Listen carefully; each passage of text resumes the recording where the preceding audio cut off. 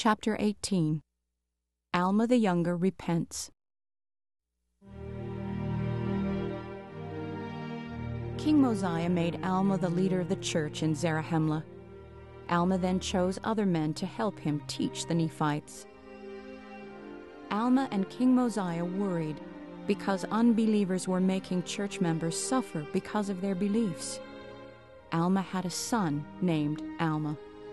Alma the younger did not believe the teachings of his father and became a wicked man. Alma the younger and the four sons of King Mosiah fought against the church. They persuaded many people to leave the church and become wicked. Alma prayed that his son would learn the truth and repent. Alma the younger and the sons of King Mosiah continued trying to destroy the church. One day, an angel appeared to them. The angel spoke in a loud voice that shook the ground. The five young men were so frightened that they fell down. At first, they could not understand what the angel was saying. The angel had come in answer to the prayers of church members. The angel asked Alma the Younger why he was fighting against the church. The ground shook as the angel told Alma the Younger to stop trying to destroy the church. Alma the Younger and the sons of Mosiah fell down again. They had seen an angel, and they knew the power of God had shaken the ground. Alma the Younger was so astonished that he could not speak. He became so weak that he could not even move his hands. The sons of Mosiah carried Alma the younger to his father and told him all that had happened to them. Alma was happy. He knew that God had answered his prayers.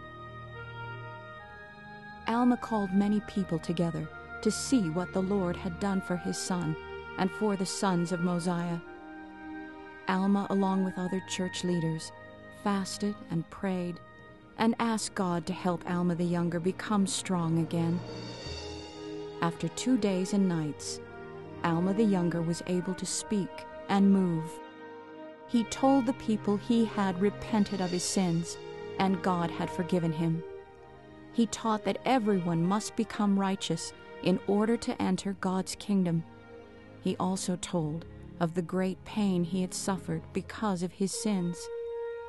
Alma the Younger was happy because he had repented and God had forgiven him. He knew God loved him. Alma the Younger and the sons of King Mosiah began to teach the truth throughout the land, telling everyone what they had seen and heard. They tried to undo the wrong they had done. They explained the scriptures to the people and taught them about Jesus Christ. God blessed Alma the Younger and the sons of Mosiah as they taught the gospel. Many people listened to them and believed.